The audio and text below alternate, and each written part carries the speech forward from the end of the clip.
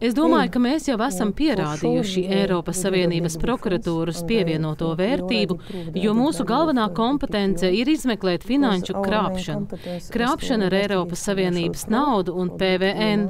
Daudzus gadus Eiropas līmenī tas ir ticis novērtēts par zemu. Daudzi to uzskatīja par nišas darbību, taču pēc trīs gadiem kopš izveidota Eiropas Savienības prokuratūra, mēs saprotam, ka tas ir noziedzības pamats, jo es šāda veida noziegumiem slēpjas milzīga ietekme uz organizētajām noziedzīgajām grupām un mafiju. Kā ar Latviju? Mēs šeit redzam daudz krāpšanas gadījumu, kad runa ir par lauksaimniecību, ir daudz gadījumu ar subsīdijām lauksaimniecībā. Tāpat mēs novērojam dažas krāpnieciskas darbības publisko iepirkumu procedūrās, īpaši lauksaimniecībā un IT jomā. Mēs izmeklējam arī dažas lietas saistībā ar PVN, kur nodarītie zaudējumi ir lielāki par 50 miljoniem eiro.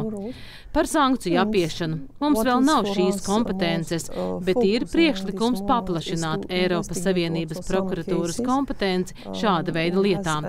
Pašlaik mums ir kompetence, ja runa ir par kontrabandu, un mūsu kolēģi Latvijā tuvākajā laika posmā pievērsīsies šādam noziedzības veidam.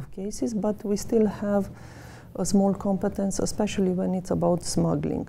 Jūs jau minējāt skaļās lietas Latvijā, kurās bija iesaistīti arī daži politiķi. Tie cilvēki, pret kuriem tika ierosinātas lietas, viņi domāja, ka Eiropas prokuratūra nav pareizi interpretējusi likumu. Es nevēlos komentēt joprojām aktīvas lietas, taču varu jums pateikt, ka viens no Eiropas Savienības prokuratūras izaicinājumiem ir tas, ka mēs strādājam ar 22 dažādu valstu tiesību aktiem. Ar Zviedrijas un Polijas pievienošanos šis skaitlis skaitlis pieaugs līdz 24. Un, protams, dažkārt tiesību aktos var būt atšķirīga interpretācija, kad ir runa par Eiropas Savienības prokuratūras regulu. Mēs esam kaut kas jauns, viss ir jauns, mums nav precedentu, bet ir ļoti vienkāršs risinājums. Visi, kam ir problēma ar Eiropas Savienības prokuratūras regulas interpretāciju, tam ir Eiropas Savienības tiesa. Tā sniegs atbildi visiem. Citās dalību valstīs mums jau ir bijuši šādi precedenti precedenti.